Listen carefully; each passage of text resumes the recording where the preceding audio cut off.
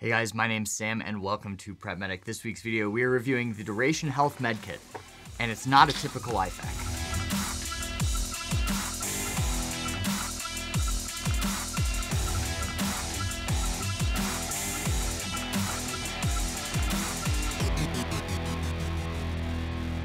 If the 2020s have taught us nothing else, it's that supply chain is not guaranteed and pharmaceuticals are no exception. As someone whose wife takes levothyroxine every day to stay alive and someone who travels a lot and spends time in the backwoods, I am pretty intrigued with Duration Health's medical kit. So, in general, this kit is a box of prescription and over the counter medications that can be used in both acute and subacute instances where you don't have access to traditional medical care or your regular physicians. Now, the use case for this is twofold. Number one is travel. If you're in another country and either they don't have pharmacies that you can use or they don't have a good healthcare infrastructure in general, you can maybe get in contact with your physician, get a prescription for something like azithromycin, but if you don't have access to it, it's useless. That's where this kit enters. You can use this, you can take it as your doctor prescribes it to you, but you use your own supply of medication.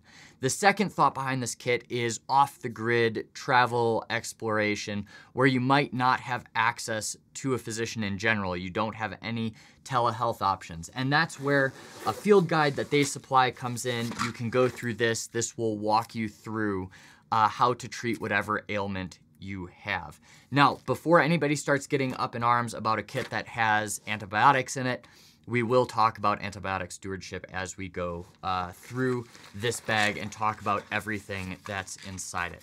So how do you go about getting this kit? So the first step in this kit is you go online and you look at what the general options are. They do have a basic kit. That kit runs about $300 to $350. And that kit will come with a couple antibiotics. It will come uh, with some Zofran and some things that are just generally useful in those environments. But as you go online, you order this kit, you will actually have a meeting with a physician on Zoom. And I thought this was going to be a very cursory meeting that was pretty low level, but it was actually really, really good.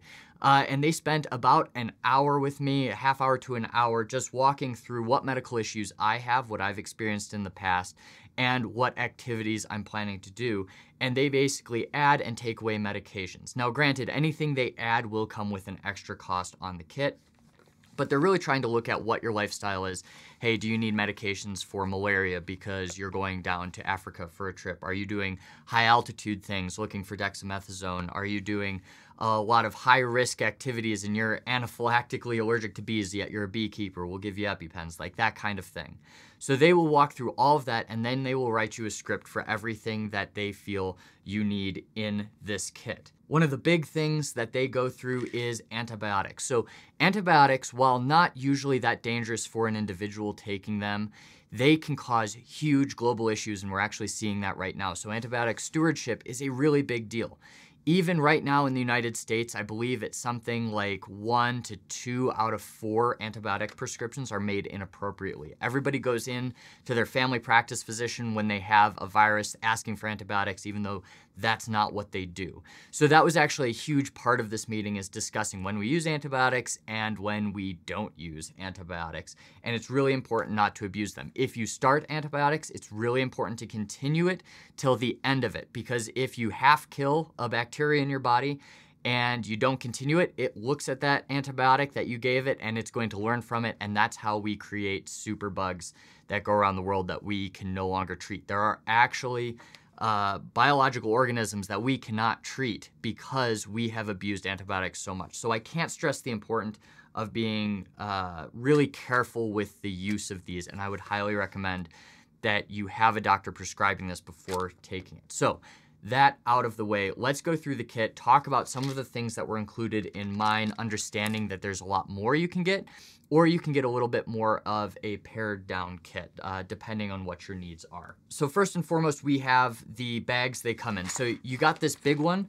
Um, it's a little bit bulky, especially for travel when you know you're going flying Frontier and they only allow you a little personal item. Uh, this is basically your personal item there. But you can also pay a little bit extra and get this smaller kit. However, I noticed it doesn't really fit everything that came in this, so you might have to pick and choose uh, what you're using depending on what uh, your situation is. The front pocket here, we have our main pills and everything there. We've got the EpiPens I have, all of that. And then the second one's where I keep the OTC and the uh, field guide. There's definitely room for adding your own prescriptions if you have something you take daily that they're not giving you in this kit. So we're gonna start uh, kind of down here and we'll work our way up into the little bit more complex medications. So I am mildly allergic to bees. I've had continuing reactions over time. So every time I've been stung, used to do tree work in high school, it gets a little bit worse. Uh, they have a pretty low threshold for prescribing EpiPens because EpiPens are something that are given to a lot of people and the dose is really consistent uh, regardless of your size. Uh, the only real difference is pediatric or adult. So I have two EpiPens included in here. These are great for the acute anaphylactic reaction, and these are really a life-saving med, an immediately life-saving med. Um, and this is kind of your acute reactions. So we have two of them in here because you can have rebound reactions there. The dose of these is 0.3 milligrams, and it's just an auto injector into the leg. Now these are prescribed to individuals, so this is prescribed to me and me alone. However, like I just said, the dose is pretty universal.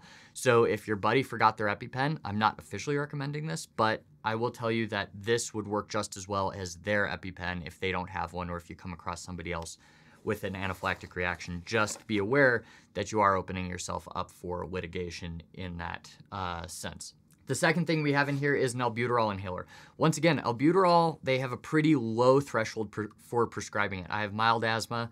Um, I had some pneumothoraces in high school, which they attributed to kind of having this chronic underlying asthma. So once again, low threshold for prescribing it. I have an albuterol inhaler here and it's the same medication, same dose across uh, these uh, across these inhalers. So if you come across somebody having an asthma attack, guess what? This is going to work for them. Once again, not officially recommending it. All right, so in here we have something that would have been really handy to have during my wife's uh, last pregnancy because she was uh, throwing up daily.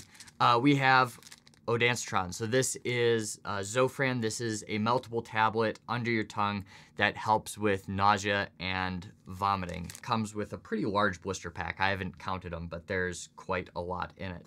Now, the uh, next thing and kind of the first like less mundane prescription medication, triamcinolone. So this is basically a topical steroid, essentially, for acute dermatitis. It's something to be used, you know, if you get really into some nasty poison ivy or you're having a localized allergic reaction, you can rub this on the area. And it's basically a really strong hydrocortisone cream. Uh, should be used relatively sparingly, however. All right, so up here we have more of our pills and prescriptions. So here I have amoxicillin. So amoxicillin is used to treat a variety of different infections. This is a pretty broad spectrum antibiotic, and we use it to treat bite wounds. So, you know, bit by a cat or, uh, heaven forbid, a human, ear infections, sinus infections, tooth infections. So these infections, while easily treated in the first world or where you have hospitals and clinics, can get pretty serious out in the middle of nowhere or in another country. So amoxicillin is a pretty broad spectrum antibiotic once again prescribed to me. And the booklet that they give you has all of the instructions for use. So it gives you the most common dosing regimen, which is pretty universal for all these meds, which is why they're able to do this prescription model. Um, it will also tell you when not to use it. So it goes through indications and contraindications of the medication. Now, down here we have azithromycin. So once again, this is another antibiotic. And azithromycin is usually used in place of penicillin medications when they have an allergy to it. And this is usually used to treat respiratory infections such as pneumonia, abdominal infections, ear infections, strep throat.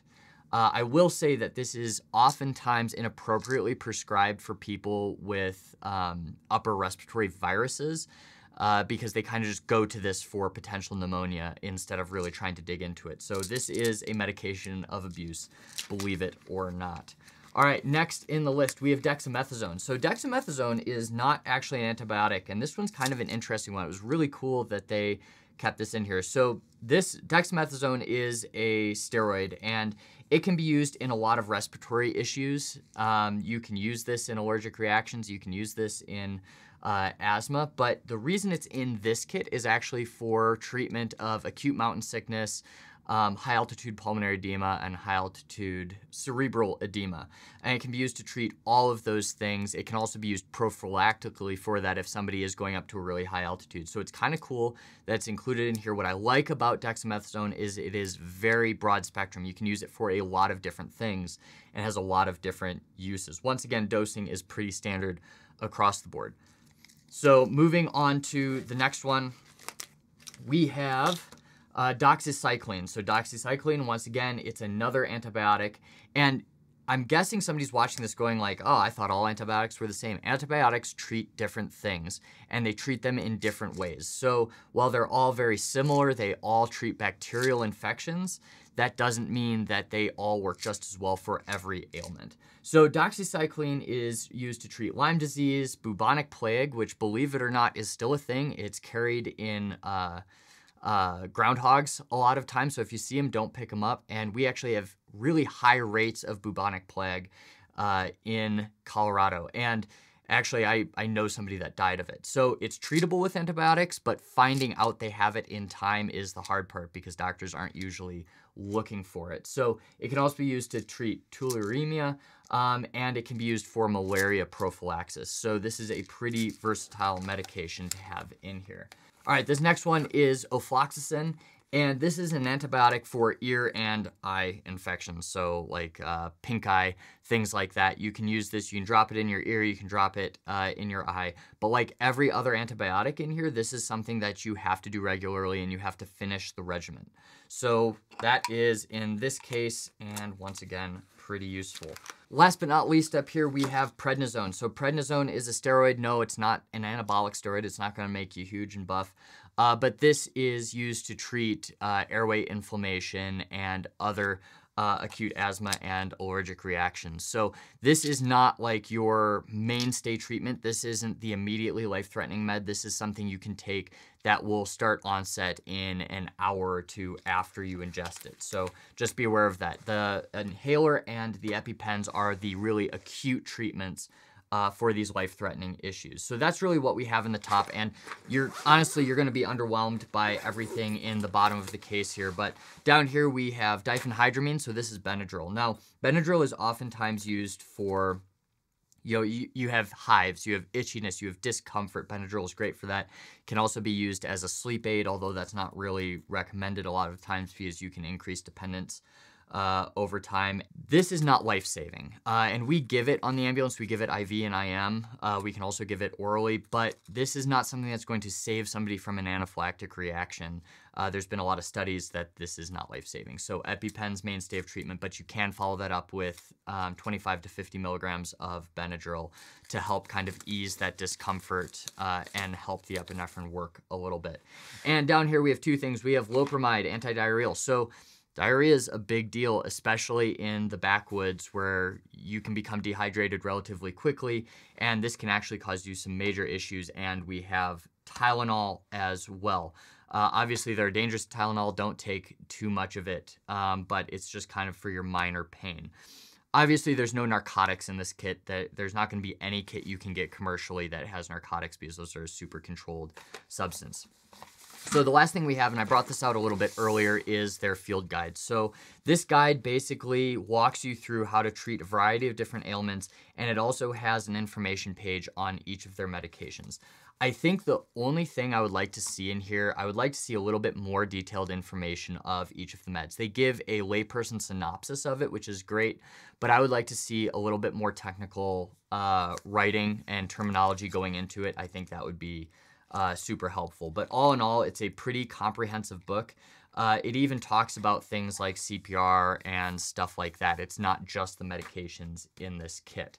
So we talked about it a little bit earlier. Let's talk about it again. Price on this. The basic kit, which comes with the medications I'll throw up on the screen, costs about $350. You can get a discount from my stuff, but it's generally 300 to $350 uh, you can get things added to it and taken away. And the shelf life of these kits, uh, they say a year. So everything in here will basically last you at least 12 months. There are a couple that will last you a little bit longer. And they will send you an email and send you specific replacements for the meds that expire when they expire. So they're tracking that for you. That being said, this is quite the investment for something that expires over time. Uh, it's not an official recommendation. You won't find any healthcare provider saying, yes, it's absolutely okay. Uh, but all of these meds will be good past their expiration date most of the time. Uh, there are some ex- exceptions. As long as you're storing this in temperature controlled environments, you're not uh, putting this in super humid uh, places or temperature extremes, both high and low. So you could keep these medications a little bit longer. Generally speaking, though, the shelf life is one year. In the future, I do want to make a short about some of these medications and antibiotics because I do think that is something that's really important that a lot of people don't know or don't understand. If you have any questions, please leave them in the comments down below, and I will see you next week.